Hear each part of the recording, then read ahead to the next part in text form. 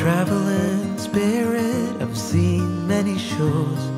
From the West Pacific to the island of Cano. They treat me like a son anywhere I go. And even though no one can tell, I still feel that I'm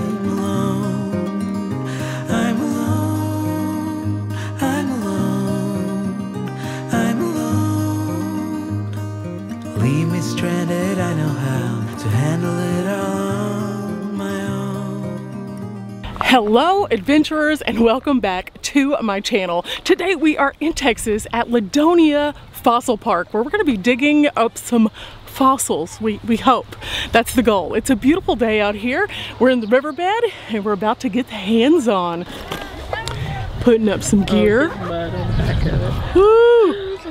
Okay, is this a donut or is this possibly some kind of prehistoric vertebra? Dad looked down and found this and it is crazy looking. After washing it up, it has some little indentions.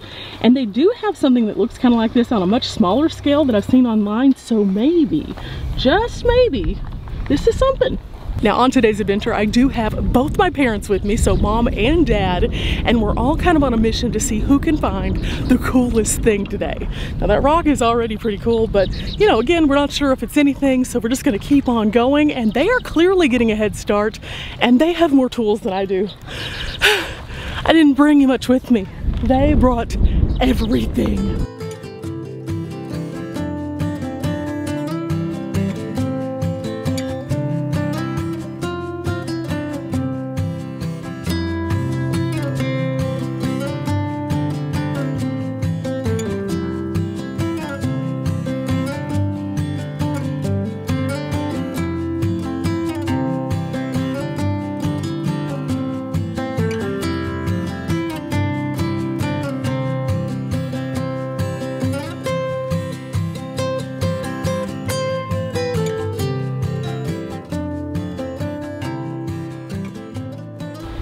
What is this? Could that be something? It looks a little, looks like it has some uh, texture to it. Huh. We'll definitely put that in the bag to find out more about.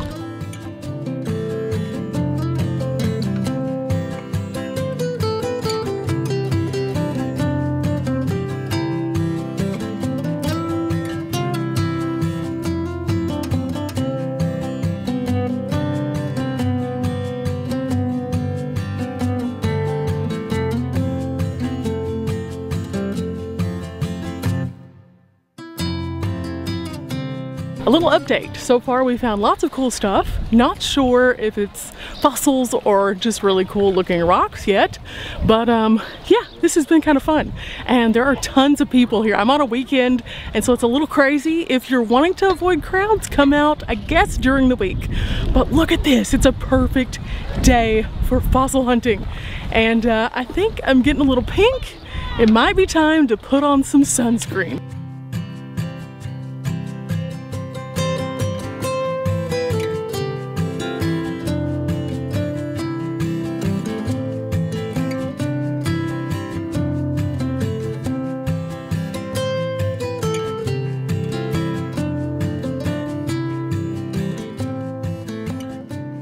Okay, so mom just found this and she's thinking it might be something. It Don't does know. have some little indentions there. But to clean it up. Okay. And I think that's one of the cool things is when you come out here, sometimes even the most cool of fossils might not quite look like what you'd expect. So we're gonna keep looking for shark teeth and things like that, but so far we haven't found any of those.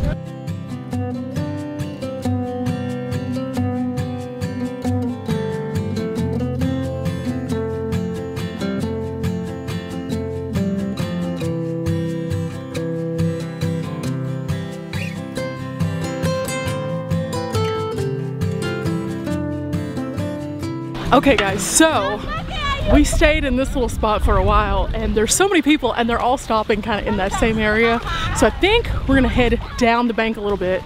There is so much room to explore, so off we go. Mom and dad are like right behind me. They were finishing up putting things away. We have a few potentials. And mom did find a pretty cool little shell that was really neat. So off we go.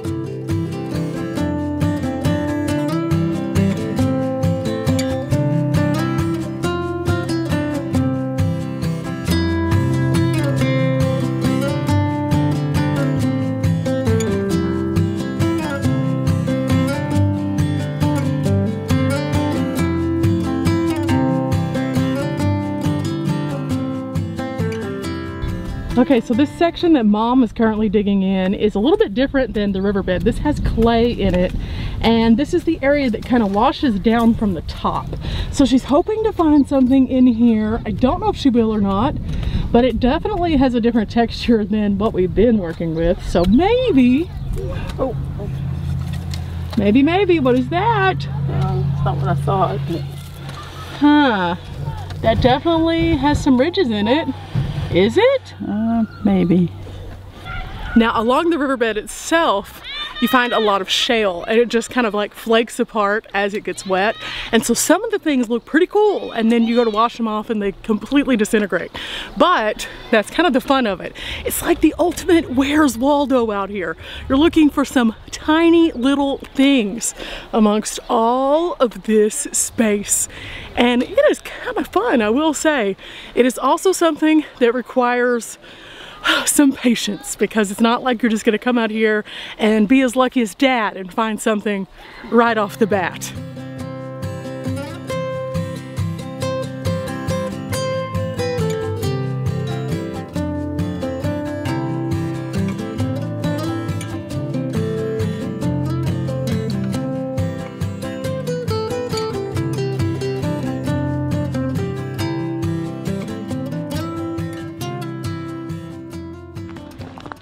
Look what I found. This is cool. It looks like it was a shell. It may or may not be. Dad found a crawdad. Aw, cool. You see? Yeah.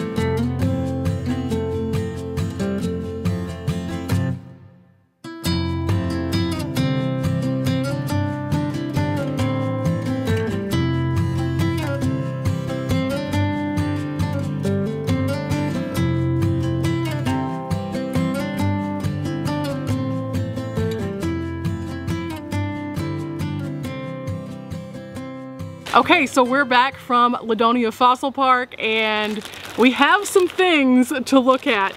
Mom has already taken the time to clean up everything that's in here and now we get to uh, show you what we found. There's some cool stuff in here, but I'm gonna get Mom to come over here and help me because she was reading a little bit more about them, so I think she might have a better concept as to what some of these things are. Okay, so we've set everything out on my little camp table right here and we have a little towel under it. So I think we're gonna just spread everything out and then show you a little closer what we have found.